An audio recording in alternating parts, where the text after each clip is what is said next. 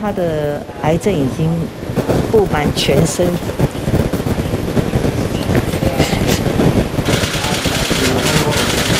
艺人李亚平二十六号中午出面说明先生于天病情，本来还很冷静，但谈到二女儿于愿琪，忍不住了。他现在的小腿跟大腿只有跟我们的手臂差不多的细，我真的是看得很难过。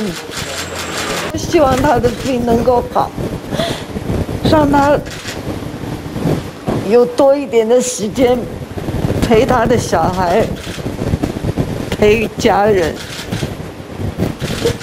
在镜头前泪崩。毕竟于愿琪的小孩一个四岁，另一个才两岁，只盼老天能给更多时间。最主要的是，因为女儿的病情一直在恶化，都没有进步，是我们最忧心、最忧心的事情。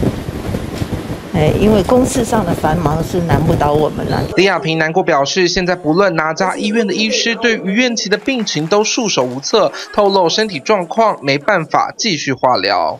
现在很痛苦了，站也不能站，哦，连站都会痛，全身都痛。一定要吃止痛药，一定要吃吗啡才可以稍许的舒缓一点这样子。毕竟不止二女儿，现在连老公都住院。李亚平从坚强受访到最后崩溃大哭，不难看出压力负荷已经到达极限。现在只盼大家能够继续集气。自己的女儿真的是那种锥心之痛哈，是难以言喻的。TVB 新闻庄启源巡体 SNG 小组台北报道。